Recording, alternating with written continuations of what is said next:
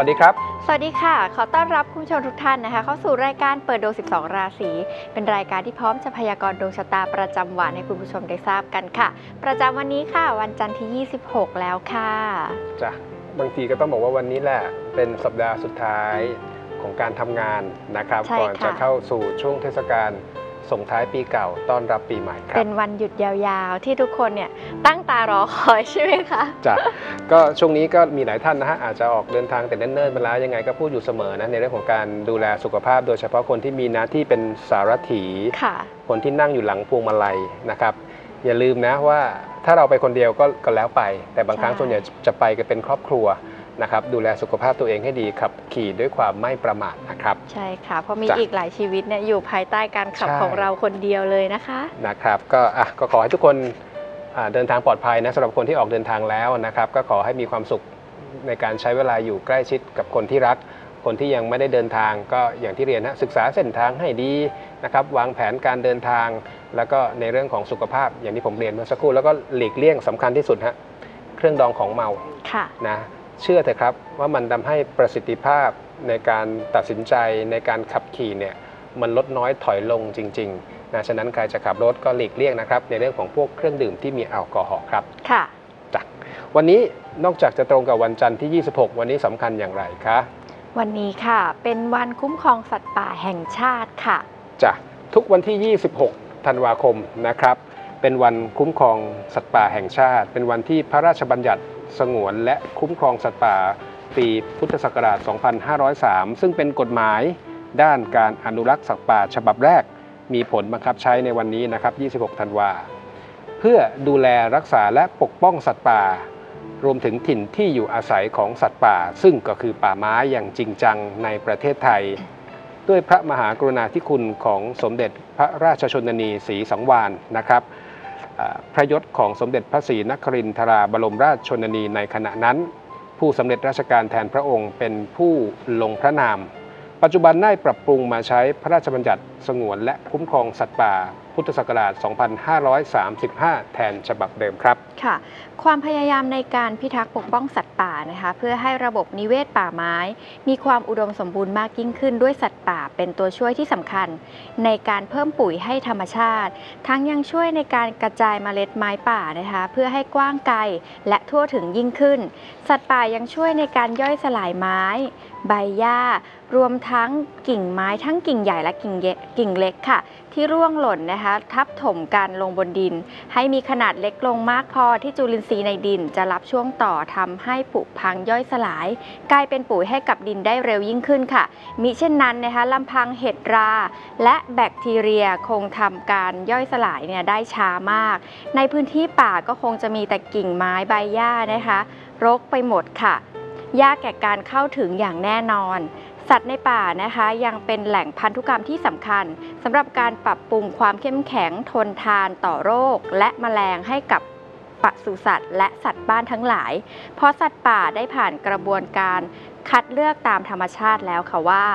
ตัวที่แข็งแรงที่สุดเท่านั้นจึงจะอยู่รอดได้ในธรรมชาติอันกว้างใหญ่นะคะ ตัวที่อ่อนแอที่ไม่สามารถหลบหลีกศัตรู หรือแก่งแย่งอาหารได้ ก็จะต้องตายก่อนที่จะได้ผสมพันธุ์ในที่สุดค่ะ ขอบคุณข้อมูลนะคะจาก w w w d n p g o t h ค่ะครับก็ต้องบอกว่าช่วยกันนะในเรื่องของการอนุรักษ์เพราะว่าสัตว์บางประเภทเนี่ยก็ต้องบอกว่าเหลือน้อยจริง ๆ ใช่ค่ะ อาจจะใกล้สูญพันธุ์ด้วยค่ะคือสมัยก่อนผมเองก็เคยมีโอกาสไปเที่ยวป่านะ เห็นค่ะเห็นสำออยสำอางอย่างเงี้ยก็คือไปนอนป่าเลยนะในประเทศเพื่อนบ้าน และในสมัยนั้นก็มีก็เห็นนะฮะสัตว์ต้องใช้คำว่าเป็นสัตว์สงวนบางประเภทนะก็ถือว่า แต่มันก็น้อยลงจริงๆอะผมไม่แน่ใจว่าปัจจุบันนี้คนรุ่นใหม่ๆจะมีโอกาสได้เห็นอย่างที่พวกเราเคยเห็นหรือเปล่านะฉะนั้นก็ช่วยกันนะอย่างน้อย ถ้าอนุรักษ์โดยตรงไม่ได้ การเผยแพร่ข้อมูลข่าวสาร การสร้างจิตสำนึกให้คนรอบข้าง ก็น่าที่จะเป็นการช่วยนะครับในเรื่องของการสืบสารการอนุรักษ์สัตว์ป่าให้มีอายุยืนยาวต่อไปนะครับ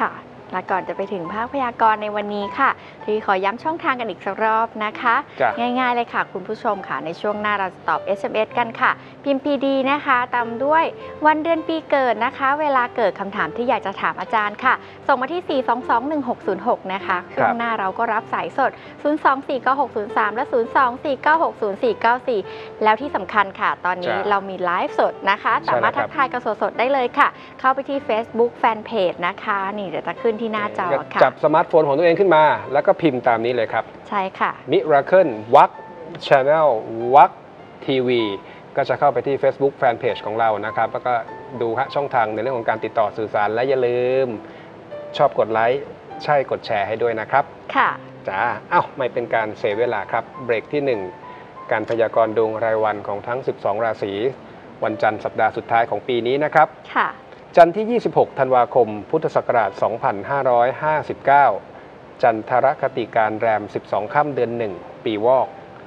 หอระดีหรือตะวันตกเฉียงใต้ คือทิศที่เป็นสิริมงคลครับ ส่วนทิศที่ควรจะหลีกเลี่ยงวันนี้คืออีสาน หรือตะวันออกเฉียงเหนือ และทิศที่จะมีคนให้การอุปถัมภ์วันนี้คือทิศเหนือ หรือว่าทิศอุดรนั่นเอง เปิดหัวด้วยชาวราศีมังกรเหมือนเช่นเคยครับ 16 มกราคมถึง 12 กุมภาพันธ์ วันนี้เน้นในเรื่องของการทำหลายสิ่งหลายอย่างให้สะดวกขึ้น เป็นทางกายภาพนะครับ การปรับปรุงสภาพแวดล้อมในการทำงานก็ใช่ การเงินไม่เด่นฮะวันนี้ตัดสินใจยาก และระวังมีปัญหาในเรื่องของเอกสารทางการเงิน ความรักหัวใจอย่าไปยุ่งเรื่องของชาวบ้านดีที่สุด โดยเฉพาะเวลามีคนมาขอคำปรึกษาปัญหาชีวิต ราศีต่อไปราศีกุมค่ะ 13 กุมภาพันธ์ถึง 13 มีนาคม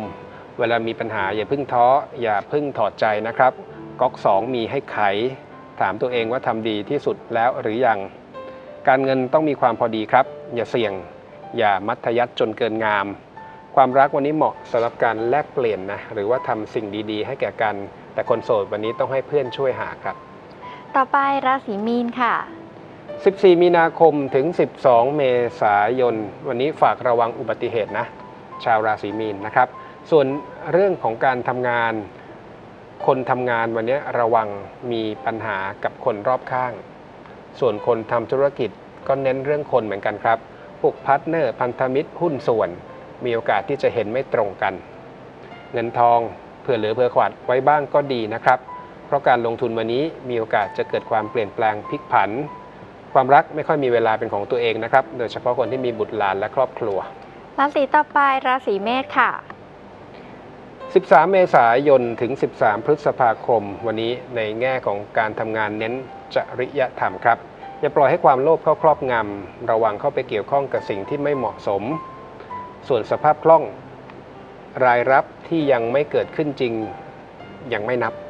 อย่าใช้เงินล่วงหน้านะครับ เพราะวันนี้ติดขัดไม่มีคนช่วย หัวใจแม้กระทั่งเรื่องรักวันนี้บรรยากาศก็ไม่ค่อยดี คนโสดระวังทุกข์เพราะเพศตรงข้าม ต่อไปราศีพฤษภค่ะ 14 พฤษภาคมถึง 13 มิถุนายนครับ เน้นความคล่องตัวความรวดเร็ว แต่สิ่งสำคัญวันนี้ต้องระวังในเรื่องของการสื่อสารอย่าห้วน ต้องมีน้ำมีนวลนะครับ ส่วนเงินทองการลงทุนเหมาะสำหรับการติดตามไถ่ถามทวง โดยเฉพาะคนที่มีลูกหนี้ค้างชำระ ส่วนเรื่องสุดท้ายหัวใจโสดไม่มีโชคนะครับ คนมีคู่ระวังมีปัญหากับบรรดาญาติพี่น้องราศีต่อไปเมถุนค่ะ 14 มิถุนายนถึง 14 กรกฎาคมทำอะไรเองได้ขอให้ทำไม่ต้องรอนะครับ เพราะวันนี้การติดต่อประสานงาน หรือแม้กระทั่งการทำงานเป็นทีม ก็ค่อนข้างจะมีปัญหา สภาพคล่องโดยรวมยังไม่ได้รับผลกระทบแต่อย่างไร โดยเฉพาะคนที่ทำธุรกรรมอะไรไว้ก่อนหน้า มีโอกาสได้เก็บเกี่ยวดอกผล หัวใจความรักวันนี้เน้นนะครับ เพื่อนสนิทคิดไม่ซื่อ แต่ถ้าชอบก็ไม่ว่ากัน ต่อไปกรกฎค่ะ 15 กรกฎาคมถึง 16 สิงหาคม คนคิดมีคู่ก่อนจะเข้าหาใคร ให้ประเมินความเป็นไปได้ก่อนนะทั้งในเรื่องของปากท้องเศรษฐกิจต่างกันมากก็ไม่สำเร็จนะครับ เงินทองต้องมีวินัยไม่เน้นฉาบฉวย หรือการทำกำไรระยะสั้นแต่อย่างไร ภาพรวมวันนี้ในส่วนของงานเขาบอกว่ามีความมุ่งมั่นตั้งใจ อันนี้ถือว่าดีและเน้นในเรื่องของการจับประเด็นนะครับ อย่าเสียเวลากับสิ่งที่ไม่ใช่สาระ ต่อไปราศีสิงค์ค่ะ 17 สิงหาคมถึง 16 กันยายน บุคลิกภาพเป็นเรื่องที่สำคัญ มีเกณฑ์ต้องเข้าสังคมพบปะผู้คนครับ และจะทำให้คุณได้รับโอกาสดีๆ เงินทองไม่เด่น วันนี้มีเกณฑ์เสียทรัพย์เพราะต่างเพศ การลงทุนอะไรที่ดีอยู่แล้ว อย่าคิดเยอะ อย่าคิดหลายชั้น ไม่จำเป็นต้องเปลี่ยน ความรักยังแข็งแรงนะครับ มีโอกาสได้ใช้เวลาอยู่ใกล้ชิดกับสมาชิกภายในครัวเรือน ต่อไปราศีกันค่ะ 17 กันยายนถึง 16 ตุลาคม งานกับเงินทายดีทั้งคู่นะครับ มีโอกาสได้ลาบผลในเรื่องที่เกี่ยวข้อง โดยเฉพาะคนที่ทำธุรกิจแบบกงสี ธุรกิจภายในครอบครัว สภาพคล่องสอดคล้องกับเรื่องงานครับ วันนี้มีโอกาสได้ขยับขยาย โดยเฉพาะในเรื่องการลงทุน หรือแม้กระทั่งเพิ่มสัดส่วนการลงทุน ความรักวันนี้คนโสดอย่าไปจริงจัง มีแต่ความฉาบฉวยนะ คนมีคู่วันนี้คนรักค่อนข้างเอาแต่ใจ ต่อไปราศีตุลค่ะ 17 ตุลาคมถึง 15 พฤศจิกายนครับ วันนี้คนมีเงินเย็นได้เปรียบสำหรับชาวราศีตุลนะครับ อาจจะมีคนชักชวน หรือจัดแจงกิจธุระให้ได้ขยับขยาย แต่หัวใจไม่เด่นนะครับ คนมีคู่อย่าไปคาดหวังว่าคนรักจะต้องทำโน่นทำนี่ อาจจะคิดต่าง คนโสดถึงมีเข้ามาแต่ก็ไม่ถูกใจ แต่งานวันนี้นะครับเขาเรียกว่าการ take care คนรอบข้างก็ดีนะครับ การคอยดูแลก็ใช่ วันนี้อยากจะให้สร้าง connection นะ โดยเฉพาะคนที่เพิ่งเริ่มต้นทำงานด้วยกัน ต่อไปราศีพิจิกค่ะ 16 พฤศจิกายนถึง 15 ธันวาคม ทุกคนรู้อยู่แล้วว่าความพยายามเนี่ยเป็นเรื่องที่ดีนะครับ แต่วันนี้เนี่ยคนที่ให้ความสำคัญกับเรื่องใดเรื่องหนึ่งมานานหายเหนื่อยนะครับ จะมีสัญญาณบางอย่างที่น่าพอใจ สภาพคล่องโดยรวมก็ดี มีเกณฑ์ได้มาซึ่งทรัพย์สินที่มีราคา ความรักวันนี้ธรรมดามีปากเสียง คนรักเองก็มีเกณฑ์เจ็บไข้ได้ป่วย ปิดท้ายด้วยชาวราศีธนูค่ะ 16 ธันวาคมถึง 15 มกราคมครับ หัวใจวันนี้พยายามทำสิ่งที่แตกต่างนะ ไม่ว่าจะเป็นคู่ที่คบหากันมานานแล้วนะครับ เติมความหวานให้กันก็ได้ หรือแม้กระทั่งคนโสดที่คิดอยากจะมีคู่ การเงินถ้ามีโอกาสได้ลงทุนในเรื่องของอสังหาริมทรัพย์ ถือว่าสมรูปจะลงเอง หรือว่าลงผ่านช่องทางต่างๆ ก็สุดแท้แต่ ไม่ว่าทำธุรกิจหรือทำงานประจำวันนี้อย่าเพิ่งปฏิเสธสิ่งที่ผ่านเข้ามา มันอาจจะส่งผลดีต่ออนาคต ค่ะ ครบถ้วนทั้ง 12 ราศีแล้วค่ะจ้ะในช่วงหน้าคุณผู้ชมสามารถพิมพ์พีดีนะคะ วันเดือนปีเกิดเวลาเกิดนะคะ รวมไปถึงสิ่งที่อยากจะถามอาจารย์ค่ะ ส่งมาที่ 4221606 ค่ะครับช่วงหน้ารับสายสด 024960493 และ 024960494 ช่วงนี้พักเบรกสักครู่ค่ะจ้ะ